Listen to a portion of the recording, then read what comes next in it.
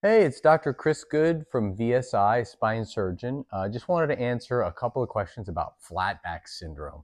That's one of these big, scary ones that's out there. And like lots of medical conditions, there's a real range. So there is definitely such thing as like mild flat back syndrome and then severe, you know, uh, spine deformity flat back syndrome. And so if we look at what we're talking about, flat back refers to the shape of your spine when we look from the side.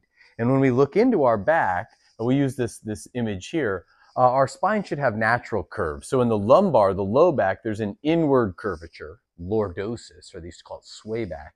And then in the thoracic spine, the other way, so that we call kyphosis.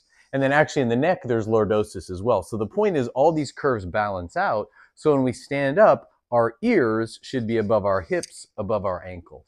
And that's really important in terms of balance because if you lean forward and you come out of balance, that puts tremendous stress on your bones and your discs and your joints, but also the muscles are working overtime to try and hold you upright. And so if people start to develop flat back syndrome, typically what that means is something is taking away the lordosis in the spine. And as they lean forward, it puts them in this position where they're putting more stress on their bones and joints, but also their muscles are working overtime. And if you look at what that is, imagine, imagine just standing and, and holding a bowling ball, right? I could do that for a while versus standing and holding a bowling ball out in front of you. And if you do that very quickly, your arms start to twitch, your muscles fatigue, and boy, um, so people who have flat back syndrome in this position, that's just like standing and holding a bowling ball all day.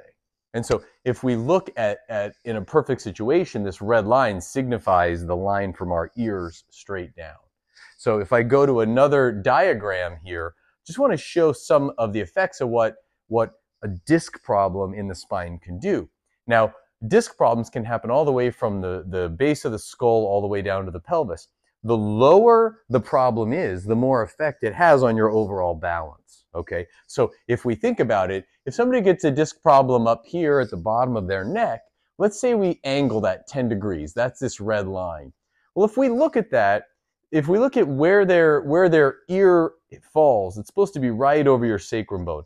And if you if you angle 10 degrees up high, it only changes a little bit. But the lower in the spine an angle happens, the more of a distance it puts you forward.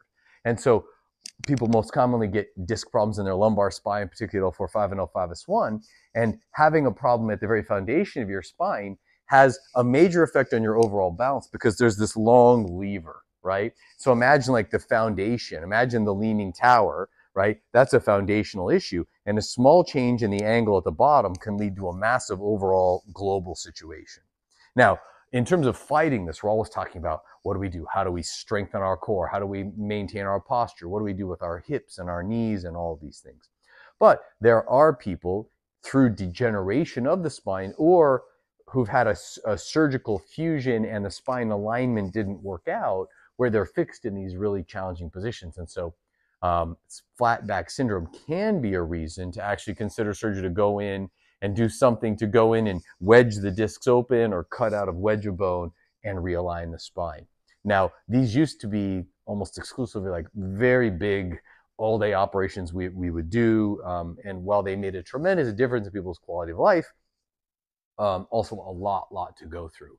And while that's still, you know, um, pretty commonly needed, thankfully we've really pioneered a lot of progress where instead of one massive cut in the bone, we're able to go in through a less invasive approach to multiple discs, wedge them all open a little, working through little windows. And many times we're able to fix this kind of problem surgically without uh, as much of a large approach as we used to. And so this is just one example of, of kind of more uh, the traditional approach where we see somebody who uh, had, had uh, some previous surgeries. So you see this rod here? This, this is actually one of the original like spine rods that was uh, pioneered many decades ago. They called it a, a Harrington rod. And this was revolutionary at the time, but it's flat. And there was no way to like bend it to match a patient's spine. And so if surgeons at that time had to use this to straighten someone's scoliosis, unfortunately, it left them very, very flat. And whatever part of your spine is flat, it puts stress on the others and then they go bad. And so as multiple surgeries are done, we can see this patient, instead of having these normal curvatures, they're flat as a pancake. and unfortunately at this point is having pinched nerves, trouble standing up, and a lot of issues. And so uh, the surgery we did was actually going in multiple discs and, and realigning each of those discs and unpinching nerves. And, and we can see at the end as we re, this is still the same up here, we run, recontour the lower spine, restoring the lordosis. And now if we look at that patient as they stand upright, that red line is falling right in the middle of our target zone. So kind of a, uh, one of the more uh, extreme cases, but it really shows kind of how far a flat back syndrome can, can go in terms of different treatments.